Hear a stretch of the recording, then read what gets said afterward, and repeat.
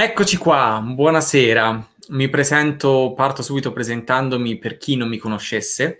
Io sono Ludovico Cosner, ma sono qua come compagnia dell'Orto del Merlo. Che cosa significa? Che, perché c'è anche chi ci guarda dalla pagina della Valdichiana.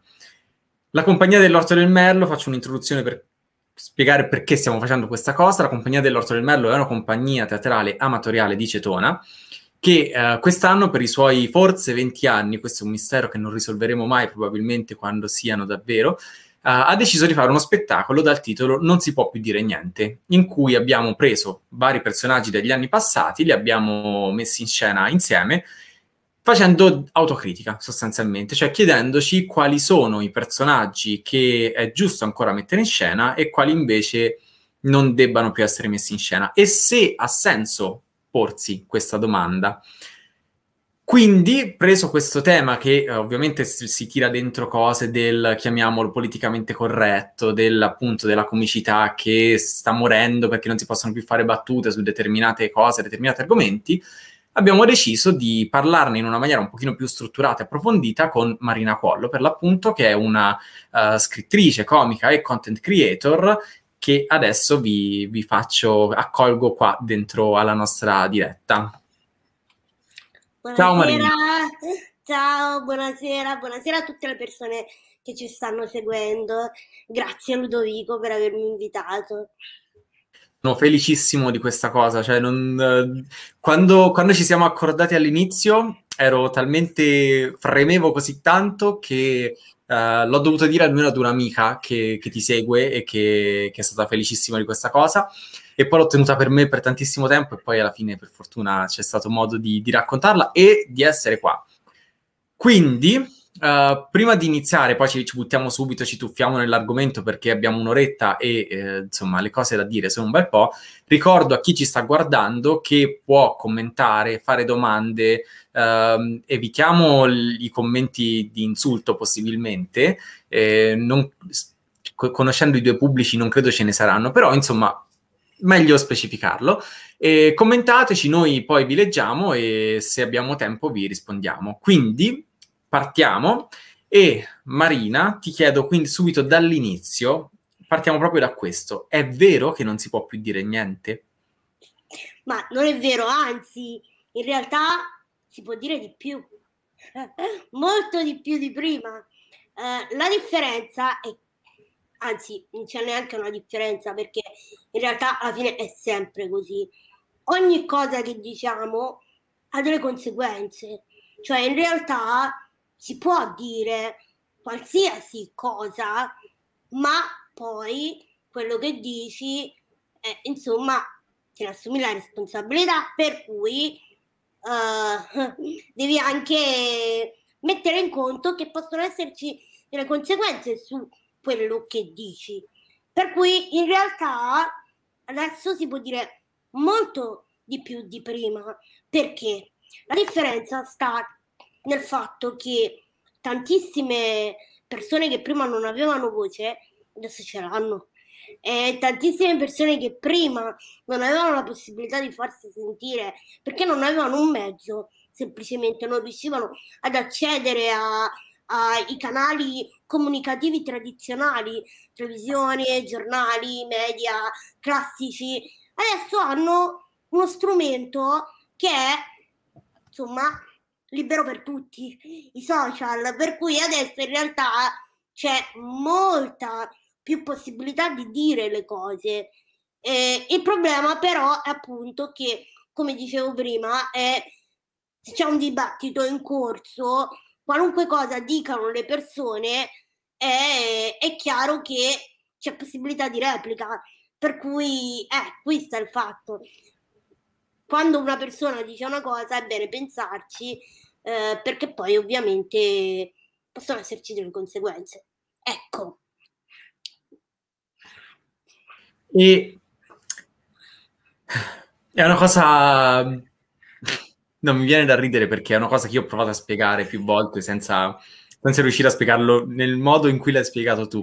Quindi grazie, è stato... Già partiamo così, insomma, io sono già super contentissimo. E um, parlando proprio del fatto che un tempo le persone, c'erano persone che, categorie di persone, poi neanche persone singole, ma parliamo di categorie di persone che non avevano una voce, adesso sì. Quindi c'è stato un cambiamento nel tempo e questo ovviamente ha portato anche un cambiamento nella comicità, perché la comicità non è una cosa statica e fissa nel tempo che rimane sempre identica a se stessa. Io um, non faccio teatro da una vita, anche se quasi, e, ehm, e comunque la maggior parte degli spettacoli che ho fatto sono commedie ho visto un cambiamento eh, nel corso del tempo, sia da parte mia di, come dire, creatore, sia da parte del pubblico, tantissimo.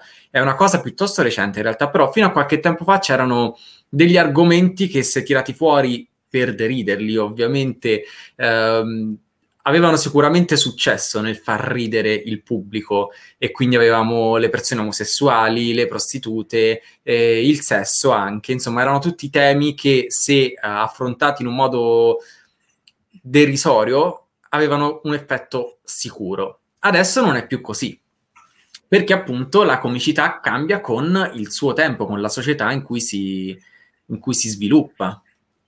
O meglio, eh, non è che non facciano più ridere perché c'è sempre una fetta di persone che ride di quelle cose perché, perché uh, la, innanzitutto la risata è soggettiva per cui non tutti ridiamo delle stesse cose e, in, e dipende anche molto dal tipo di uh, informazione bagaglio diciamo che abbiamo acquisito nel tempo e al nostro personale pensiero su determinati argomenti per cui Adesso la differenza è che appunto, essendoci persone che hanno una voce, ecco, possono dire la loro e sul loro modo di vedere le cose.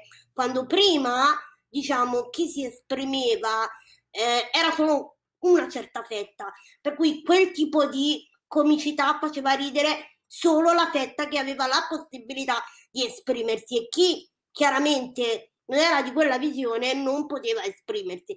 Adesso invece c'è un bilanciamento in questo, per cui anche la comicità è cambiata perché allo stesso tempo più persone hanno avuto accesso alla comicità, per cui abbiamo una quantità, oddio, mm, partiamo dal presupposto che c'è ancora uno sbilanciamento, nel senso che la comicità è ancora in mano a un certo tipo di persone e mi riferisco chiaramente ai maschi etero cis. Questa è la verità perché di fatto mh, l'altra fetta di, di, persone rimane comunque um, quantitativamente inferiore, mo, insomma, anche semplicemente volendo considerare le donne comiche sono comunque un numero inferiore rispetto agli uomini perché la comicità in generale um, è sempre stata un po' un terreno maschile sia in passato e, e adesso le cose stanno cominciando a cambiare.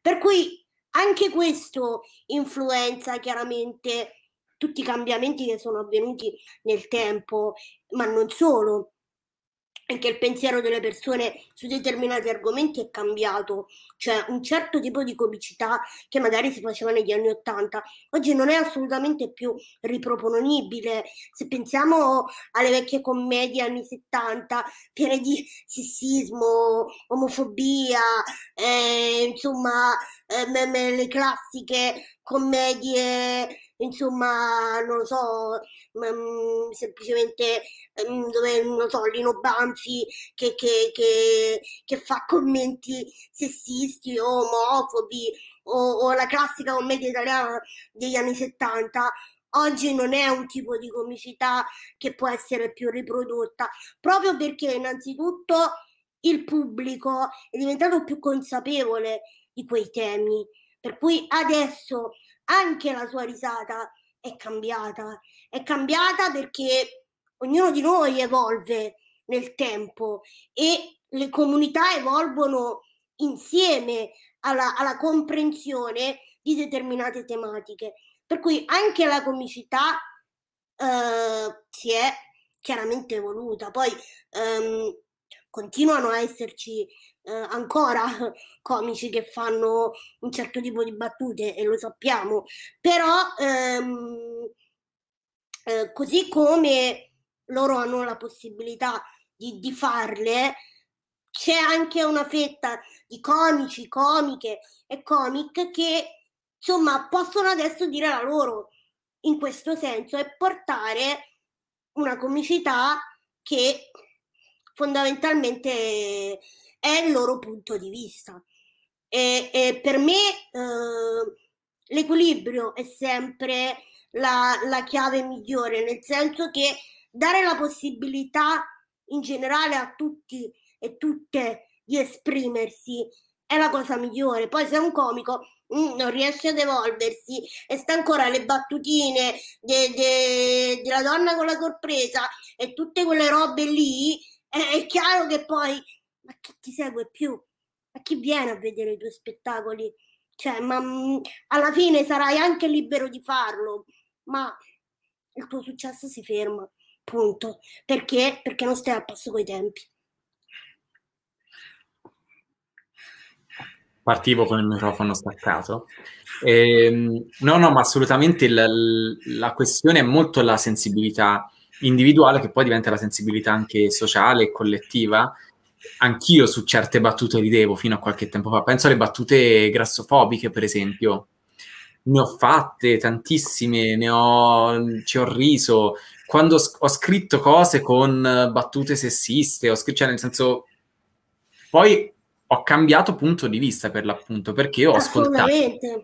Ma ho la grafofobia, per esempio, è un terreno su cui anch'io nel tempo ho imparato, ma che prima avevo una visione completamente errata o comunque una visione dettata da insomma l'idea culturale che ci viene propinata riguardo al corpo grasso.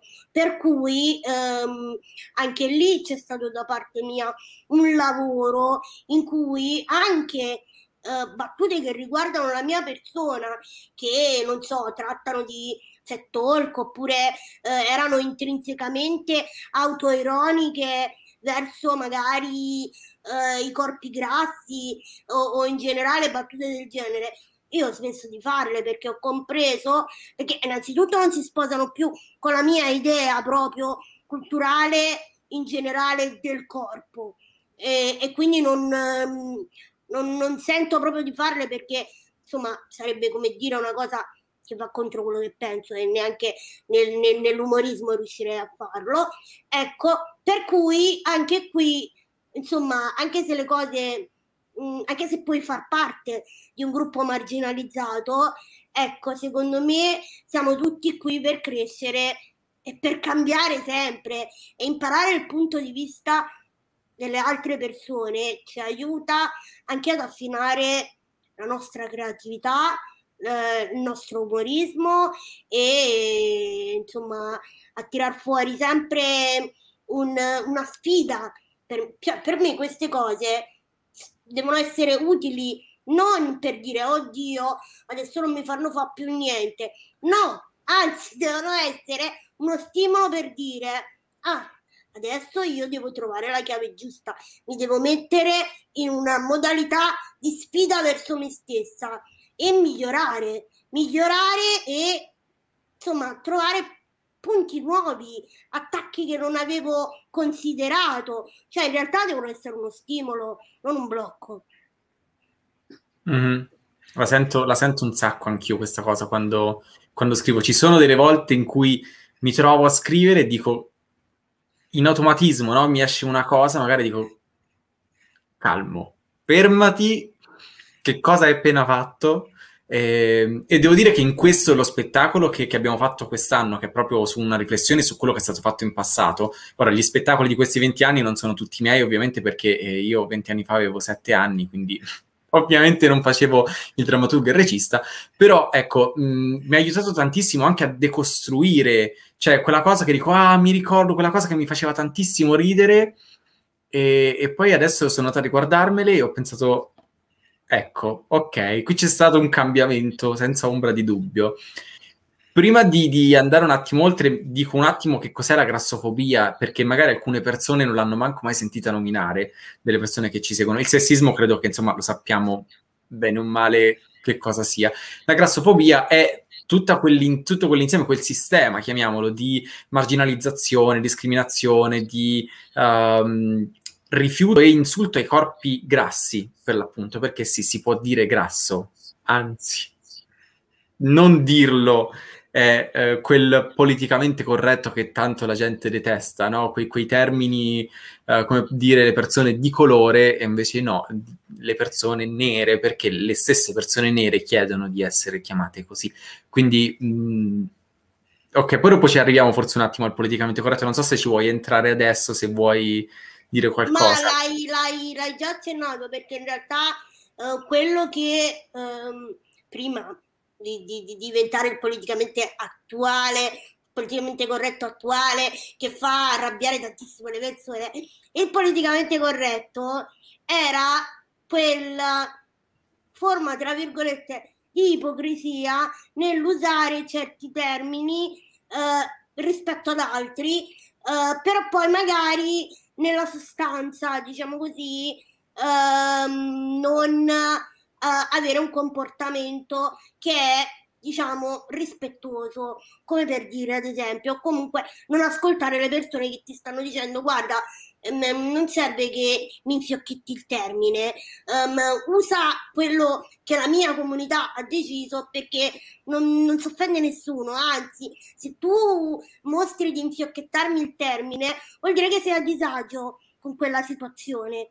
E io insomma te lo faccio notare. Stessa cosa, insomma, la, la, le persone grasse hanno scelto e hanno specificato che grasso non è un insulto assolutamente, per cui è giusto saperlo, è giusto utilizzare il termine. Allo stesso modo, ad esempio, nella comunità disabile, ehm, le persone cieche vogliono essere chiamate cieche, non non vedenti, parzialmente vedenti, cioè insomma tutti quei termini un po' così, oppure non lo so, eh, il classico diversamente abile, tutte quelle, cioè no, allora ci sono dei termini eh, che, che, la comunità ha scelto, eh, le persone cieche vogliono essere chiamate cieche, le persone sorde vogliono essere chiamate sorde, ehm, le persone disabili sono disabili punto, non diversamente niente.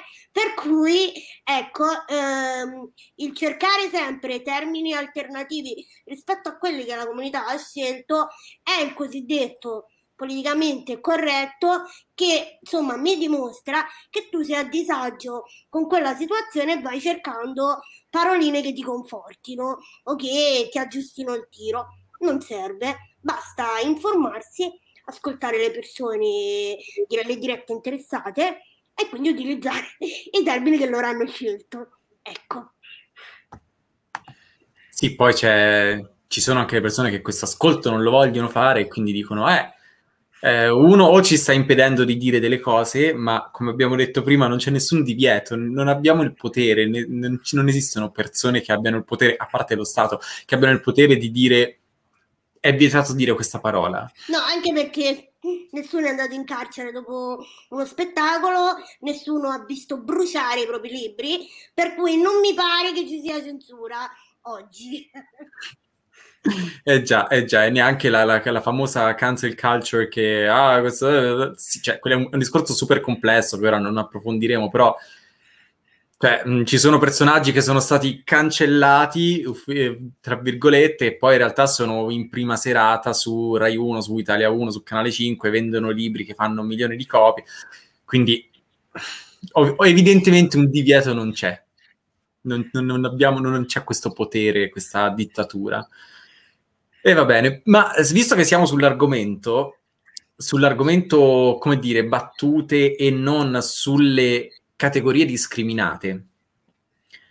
Perché una delle cose che sembra che non si possa più fare è questo, cioè ridere di persone eh, che appartengono a categorie discriminate o di ridere di categorie discriminate nel complesso, quindi appunto diciamo le persone disabili oppure uh, le persone LGBTQIA+, le persone grasse, insomma è così. È vero, cioè non è... Ora io ti faccio, ti faccio una domanda molto così, ovvero è vero che non si possono più fare battute su queste categorie e quando vengono fatte e c'è una reazione di rabbia, Co- Ma, cosa succede? Cosa sta succedendo? Allora, un tempo, e mi riferisco agli anni 90, eccetera, eh, quando le persone andavano in televisione, un comico andava in televisione, si diceva espressamente che c'erano gli argomenti che proprio erano intoccabili, tipo eh, i disabili, la religione e altre cose del genere, erano un po' diciamo terreno, però di fatto in realtà oggi non è più così innanzitutto e soprattutto non è vero perché questo tipo di reazione è semplicemente la risposta è quello che dicono le persone quando si sentono criticate sulle loro battute. Per cui non è vero che ci sono, c'è un terreno che non si può toccare. Almeno personalmente, per me si possono fare battute su qualsiasi cosa. Uh, l'importante però è saperle fare, essere uh, consapevole dell'argomento che stai trattando e soprattutto assumerti la responsabilità di quello che dici. Per cui se eh, fondamentalmente pesti una merda, eh, poi insomma ti toccano le conseguenze. E le conseguenze non sono uh, censura come le persone uh, pensano, oppure insomma roghi e, e fuoco e fiamme, no, semplicemente le persone esprimono dissenso per, per una battuta venuta male. Eh, amen, eh, quello è.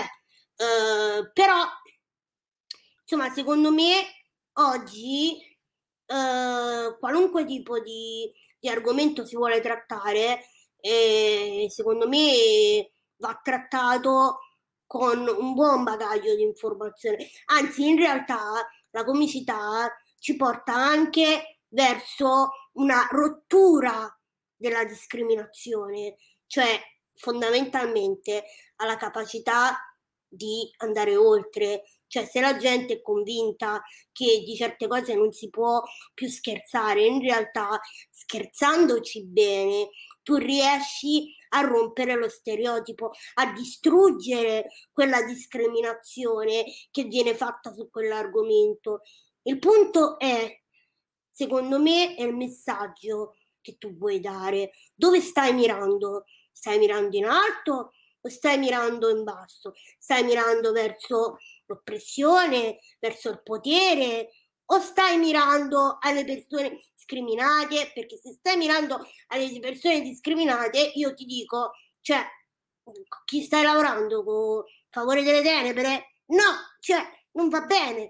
Il punto è, è, è cercare di, insomma, andare verso un messaggio che sia costruttivo, che mi porti ad una narrazione che l'oppressione me la distrugge, non me la favorisce, se no che, sia, che, che, che, che stiamo a fare qua, niente, cioè non, non, va bene così. Per cui la, mh, ragionare sempre sul messaggio che una persona vuole portare in qualsiasi contesto è fondamentale.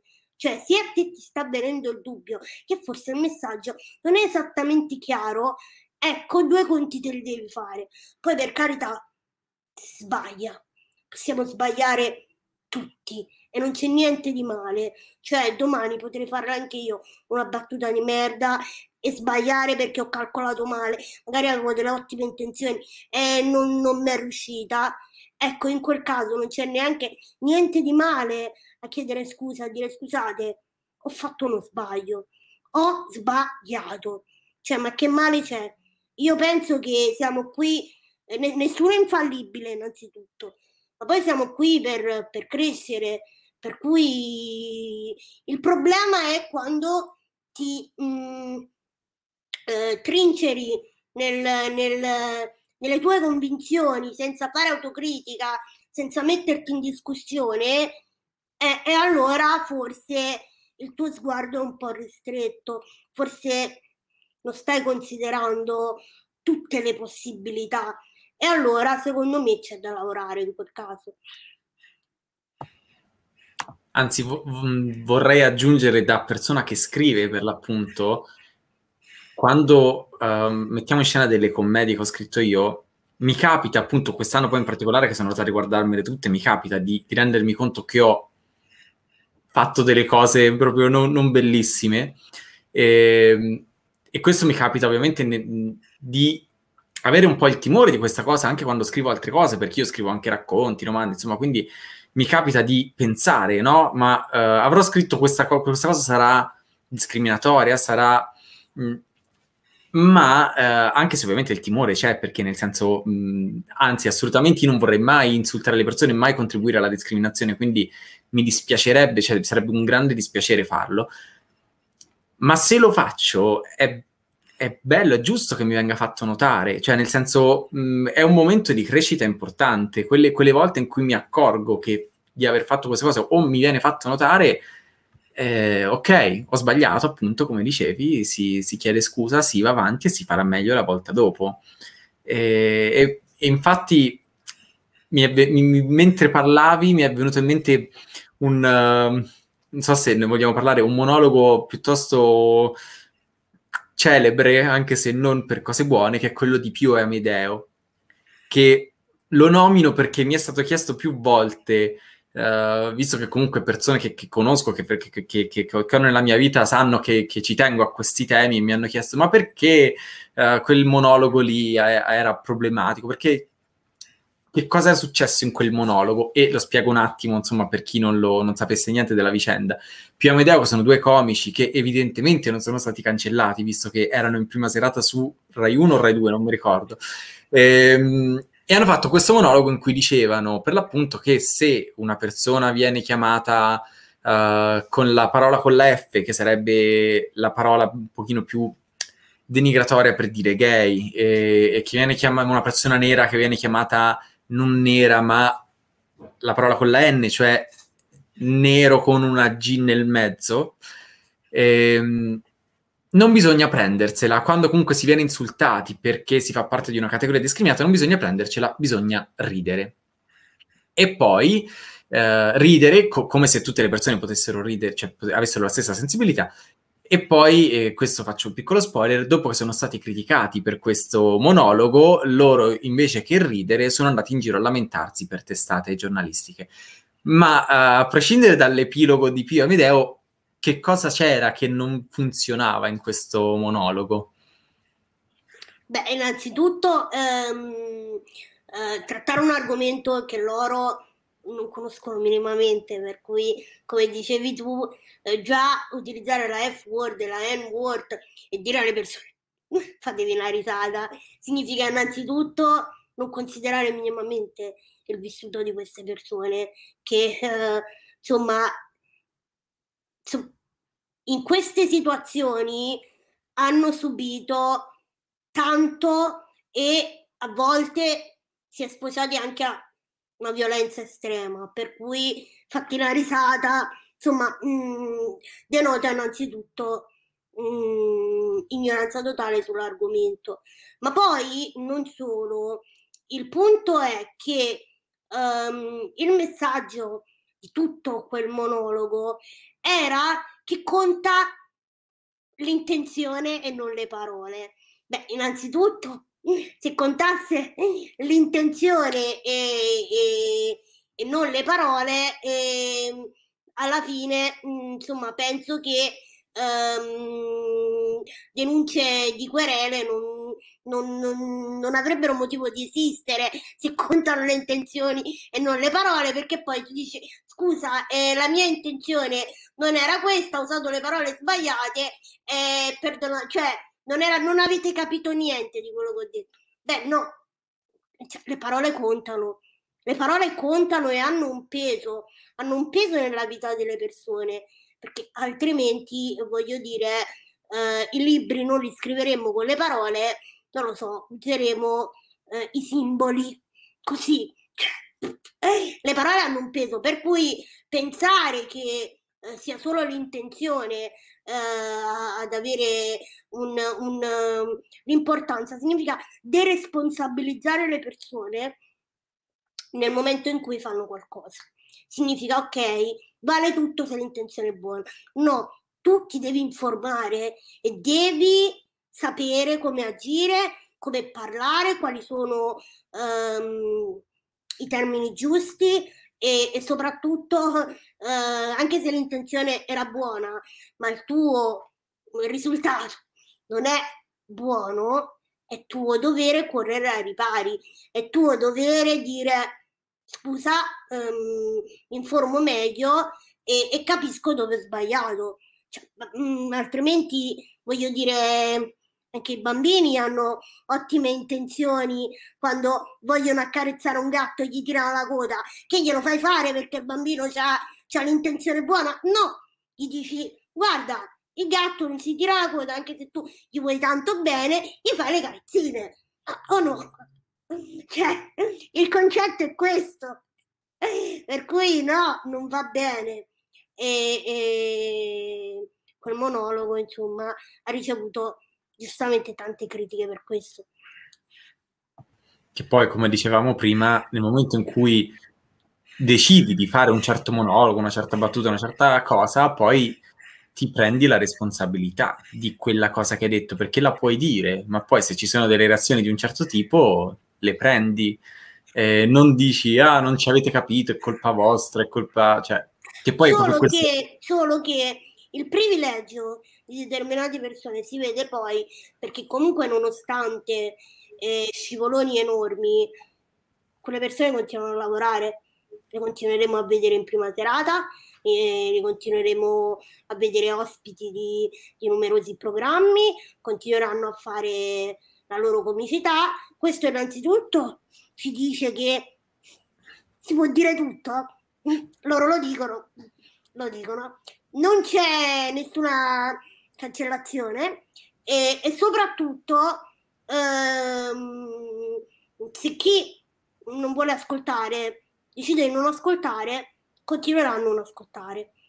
Però l'importante è che ci sia anche um, l'altra fetta delle persone che hanno la possibilità di dire la loro. Il problema è che per adesso uh, varcare la soglia del mainstream per quelle persone è ancora molto complicato perché se Pio Medeo riescono a fare quel monologo in prima serata, una persona che fa parte della comunità LGBT oppure una persona disabile o una persona che fa parte di qualsiasi gruppo marginalizzato, un programma in prima serata mh, mm, ancora non ce l'ha. E, e questo, questo qua è il problema. Sì, sì, nel, nella sproporzione. Esatto. Però su Netflix, ora questo lo tiro fuori perché l'ho scoperta grazie a te, tra l'altro, ci sono degli speciali di alcuni comici che fanno battute su veramente cose che qui diremmo, ah, ma non si possono fare quelle battute perché sono, sono argomenti tabù, no? Appunto eh, la disabilità oppure l'autismo, insomma, altre cose, ma che le fanno bene, cioè nel senso le fanno, fanno ridere, queste battute sono monologhi che fanno ridere, e non ridono delle, dei gruppi marginalizzati, ma con i gruppi marginalizzati, che è tutta un'altra cosa. Ovviamente sto parlando di Anna Gatsby principalmente, e, e poi c'è anche... Tra l'altro, tra l'altro eh, insomma, per chi non lo sapesse, a, a gennaio è a Milano, io purtroppo non potrò andare a vederla, però insomma, eh, ci, insomma per chi ha la possibilità è veramente una comica che non dovreste perdere. Sì, sì, la trovate su, su Netflix per l'appunto, ci sono due suoi, due mi sembra, due speciali. Sì. Uh, Nanette, uh, e ehm, sì, Nanette e Douglas. E poi c'è anche Daniel Sloss. Daniel che... Sloss anche, che tra l'altro Daniel Sloss è la riprova che non è che di determinati argomenti possono parlare solo le persone che fanno parte di quel gruppo, ma mh, mm, se tu sei padrone dell'argomento e l'argomento lo sai trattare bene, anche se non fai parte di quel gruppo, ma eh, puoi tranquillamente fare delle ottime battute, purché insomma appunto quell'argomento tu lo conosca molto bene e magari perché hai avuto la possibilità di entrarci dentro, di avere un contatto diretto con, con questa cosa. Daniel Sloss aveva una sorella con disabilità, per cui una parte del, del suo monologo in Dark è proprio sulla sorella. Fa delle battute strepitose, però ehm, la, la, cosa bella è che Daniel Sloss mette proprio alla prova il pubblico mettendolo a disagio, a disagio nel loro abilismo, inter- cioè glielo tira proprio fuori con le battute che fa, per cui è, è molto molto molto forte questa cosa. E ti, ti, rubo delle parole che hai detto altrove perché insomma, bene o male ti, ti leggo, ti seguo, ti ascolto. Grazie. Il, il, il, fatto di pensare che non si possa ridere di una certa uh, situazione o condizione è disumanizzante perché le persone riescono, le persone, ora qui parliamo del pubblico, quello maggioritario, no? quindi il pubblico senza disabilità, il pubblico etero, il pubblico cisgender e così, può ridere della sua vita, delle cose che succedono nella sua vita. Quindi pensare che l- i gruppi marginalizzati non possano ridere su cose che capitano a loro eh, è un po' appunto disumanizzante.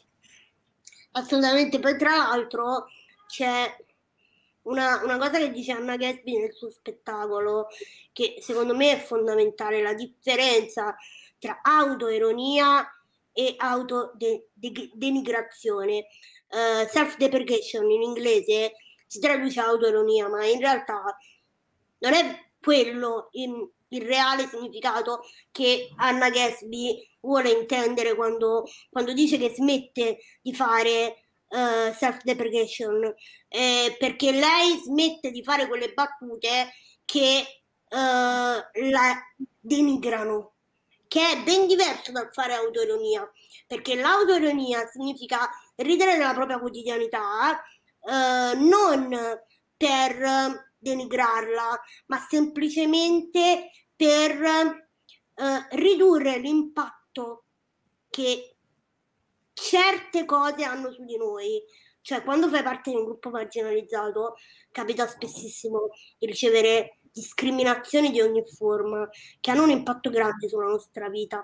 Quando facciamo autoironia, è un po' come, come fare una, un'autoterapia e alleggerire il peso di quella discriminazione nei nostri confronti. Quindi quando lo andiamo a raccontare, la depotenziamo depotenziamo la discriminazione nei nostri confronti, depotenziamo l'oppressione. Ecco, questa è autoironia e per me ha un potere straordinario attraverso l'umorismo e la, e la comicità, eh, che è ben diverso dall'autodenigrazione. Quando ridiamo per ridicolizzarci, ecco, lì non facciamo un, qualcosa di tanto diverso dal classico comico che fa la battuta discriminante, ma se invece riusciamo a padroneggiare bene l'autoironia, quello è uno strumento molto potente ed è questo che Anna Gatsby specifica in Nanette quando dice io ho smesso di fare purtroppo i sottotitoli la traducono au- come autoironia ma mm. è autodenigrazione più corretto. Lei smette di fare questo perché all'inizio della sua carriera molte battute erano autodenigratorie, ma lei ha compreso che mh, mm, non faceva mo- niente di diverso dalla da comicità classica che, che, non punta in alto. Per cui è, ha proprio detto al suo pubblico che anche la sua comicità si è evoluta e questo è fondamentale secondo me. Per andare verso la fine, io ti chiederei se oltre appunto a Anna Gatsby e Daniel Sloss che sono su Netflix, basta ricercate nella, nella funzione ricerca di Netflix, se ci sono cose che ci consigli, persone, comici, comiche, allora, comiche. Che, eh, a parte, eh, aspetta, provo, provo, a fare una cosa, non so se ci riesco. Se non riesco a, a smontare tutto, a parte questo. No, vabbè, grazie. Questo è il libro di Marina, eh, l'ho letto poco fa, poi ti dirò, mi è piaciuto molto. Eh, questo è un libro da leggere, è comico, è ironico, non è self-deprecation. Grazie. Eh, quindi quello è un consiglio che do io qui, così, perché... Vai, poi ora ti lascio la parola. Allora, poi sicuramente al volo mi viene in mente Nate, che è uno spettacolo eh, comico ma anche teatrale di Natalie Palamides che trovate su Netflix ed è molto bello perché è sulla mascolinità tossica. Molto molto bello. E poi come altri eh, una comica, mh, anzi comic che consiglio è uh, Me Martin, che tra l'altro su Netflix uh, di spettacolo suo speciale non c'è, eh, si trova un piccolo diciamo episodio in una serie di uh, um, spettacoli di vari stand-up comedian che è stand-up comedian from the world qualcosa del genere. Comunque cercando il nome esce fuori tutto quello che la riguarda. E, e poi c'è eh, la serie tv ehm, in cui è protagonista ehm, che è Feel Good. Due stagioni eh, anche quella non è esattamente comica come un, uno spettacolo di stand up comedian quella serie. Però comunque mh, mm, è molto interessante da vedere. E poi